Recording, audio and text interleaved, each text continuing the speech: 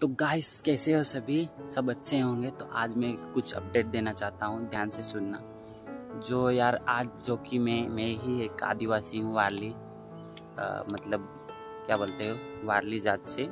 तो यार हमारे यहाँ कुछ बहुत बड़ा फ्रॉड हो रहा है जो कि बहुत सालों से मतलब होता आ रहा है और लोगों को समझ में ही नहीं आ रहा है उसमें। जो कि अभी जो मुद्दा उठाया है जो उठाया है जो हमारे यहाँ मेन बात वो मैं बोलना चाहता हूँ कि हमारे यहाँ पारसी का मेटल चल रहा है भाई, जो बहुत ज़मीन है ना, बहुत सारी, साढ़े चार सौ एकड़।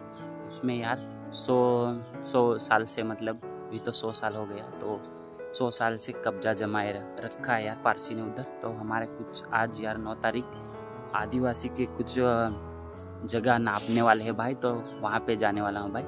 तो उस पर यार मुझे वीडियो बनानी चाहिए कि नहीं तो जल्दी से कमेंट करो यार, नहीं तो बाद में वीडियो बना दूँगा, आप बोलेंगे तो।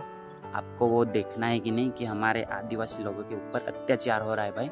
तो उसके बारे में आपको वीडियो मतलब देखनी है और उसके बारे में जानकारी आपको चाहिए क्या सच में वो जगह आदिवासी लोगों की पारसी ने ले ली है सालों से।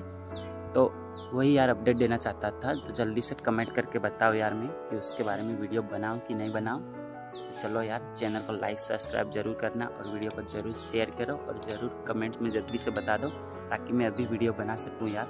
आज बहुत यार लोग जमा होने वाले हैं और जगह सब नापने वाले हैं तो उधर बहुत पब्लिक आएगी यार।